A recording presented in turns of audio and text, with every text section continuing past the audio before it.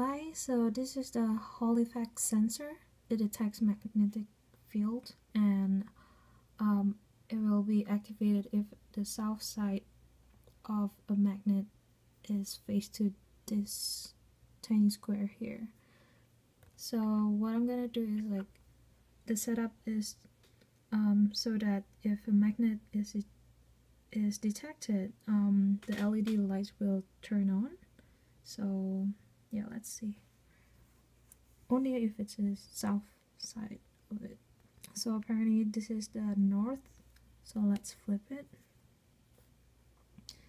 And yep it's the south.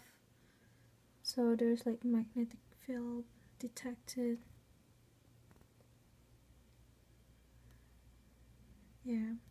And this is the setup of the Arduino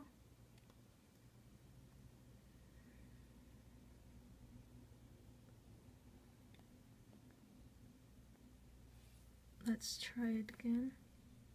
Yeah.